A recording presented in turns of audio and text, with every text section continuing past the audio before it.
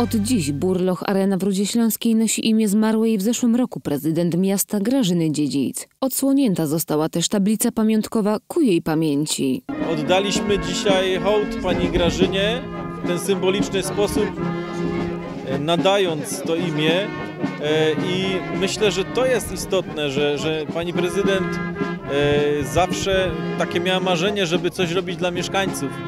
I to, że akurat to jest obiekt e, sportowy, który przemawia do każdego tak naprawdę, to jest właśnie ta misja. Grażyna Dziedzic została wybrana na prezydenta Rudy Śląskiej w 2010 roku, stając się pierwszą kobietą na tym stanowisku. Urząd ten piastowała przez 12 lat. To była osoba, e, e, której na sercu zawsze leżało dobro Rudy Śląskiej. A tam, gdzie e, są różnego rodzaju pomysły się ścierają, no to zawsze są dyskusje. Najważniejsze było to, że umiała przekonać i zrealizować to, co po prostu służyło dla naszych mieszkańców. Podczas swojej kadencji udało się jej zainicjować wiele inwestycji, takich jak ukończenie parku wodnego, budowa stadionu lekkoatletycznego czy właśnie modernizacja kompleksu Burloch Arena. Remont obiektu rozpoczął się w 2013 roku. Na początku powstało tu boisko do gry w rugby, a także zadaszone lodowisko i tor saneczkowy. Pani Grażyna Dziedzic kochała to miejsce.